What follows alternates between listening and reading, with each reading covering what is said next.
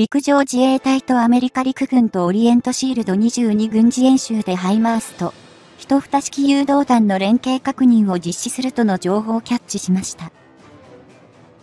今回は、このオリエントシールド22を詳しく見ていきますね。ジャベリンも、訓練開始で、ウクライナ軍の戦歴がリアルタイムで訓練できます。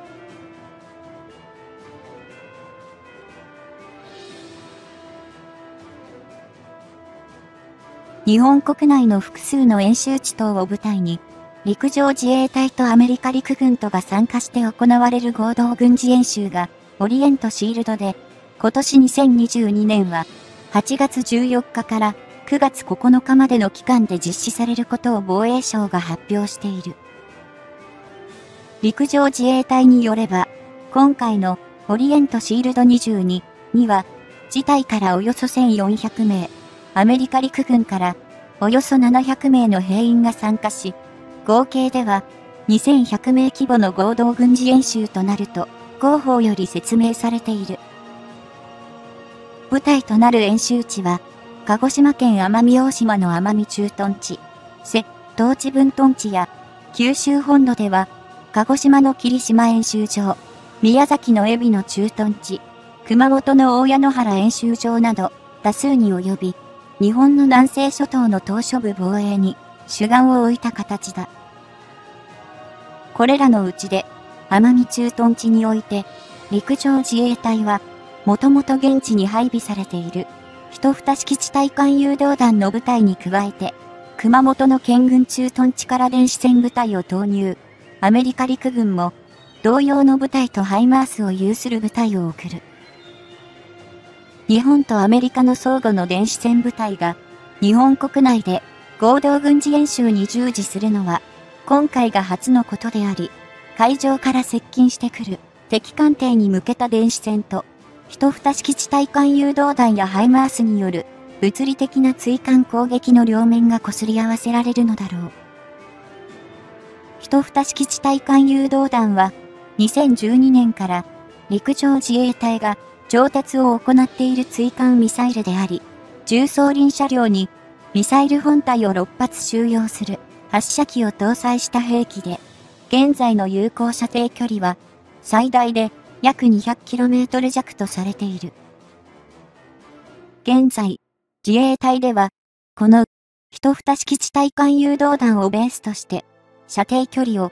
第1段階で約 900km、第2段階で 1500km と大幅に延伸する開発を進めており、プラットフォームも多層化する予定である。これにより、航空機に搭載可能な空対、艦型、艦艇に搭載可能な艦隊艦型まで含めて、自衛隊の対艦ミサイル戦力の中核を担う兵器となることが予想されており、日本政府が唱えるスタンドオフミサイル構想を体現する兵器に位置づけられる。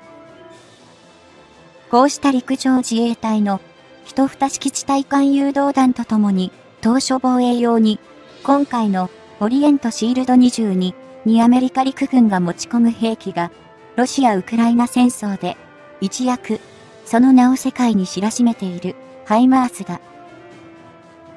ハイマースも、一蓋式地対艦誘導弾と同じく、最大6発のロケット弾を、重装輪車両に搭載可能な兵器だが、大元張り体式の車両の荷台に、最大で倍の12発のロケット弾を搭載する MLRS M270 としてアメリカ軍が開発したものである。MLRS M270 はハイマースの倍のロケット弾を装填できる能力を持つことから、その意味では、単純な火力も倍であり、今回のロシア・ウクライナ戦争では、イギリス等の国々が、こちらを支援用の兵器として、ウクライナに供与している。実は、日本の陸上自衛隊でも、1992年から2004年にかけての13年間で、MLRS M270 は合計99両が調達されているが、今後は前述の一蓋式地対艦誘導弾の改良型に置き換えられていく方向にあり、2019年3月以降、徐々にその配備数を減らしている。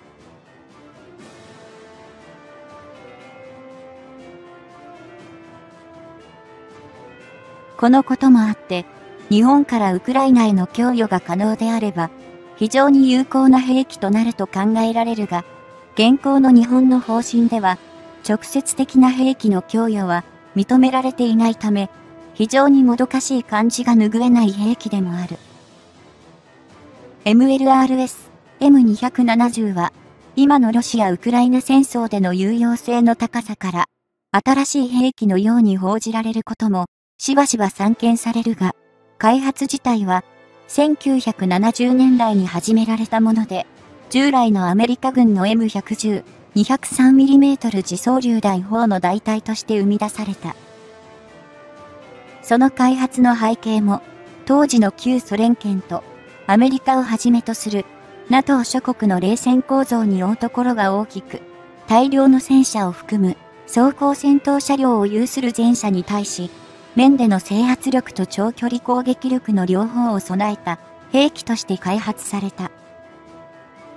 この面での制圧力と長距離攻撃力を実現するために、当初の MLRS M270 は、本体の 227mm ロケット弾に M26 と呼ばれる644個もの子弾を搭載するクラスター方式のロケットを用いる形式であり、実戦では1991年の湾岸戦争で絶大な威力を発揮した。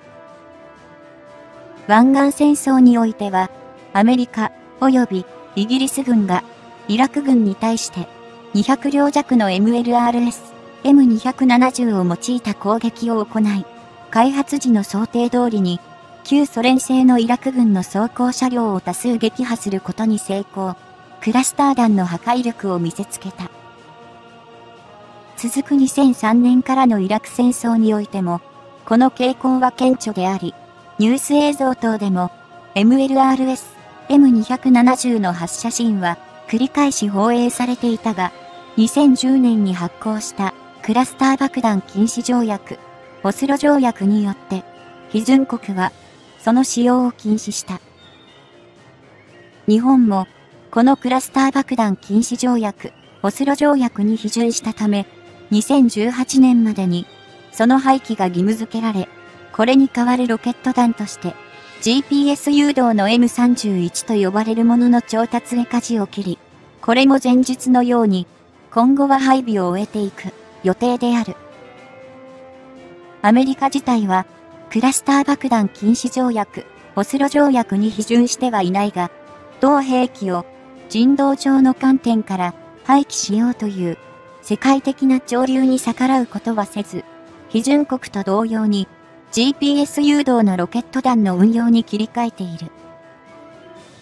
こうしたクラスター爆弾禁止条約、オスロ条約等を見るにつけ、個人的には、戦場とはいえ、必要以上の苦痛を敵側に与える兵器を規制しようという動きは理解できるものの、敵側が使用をやめない場合のリスクも気になる。ウクライナも圧倒的な量のロシアのロケット砲や榴弾砲の砲撃にさらされて苦戦を強いられ、可能であれば、それらを面で制圧する能力に優れたクラスター弾を MLRS、M270 やハイマースで使用して排除していく戦術を施行していたと思える。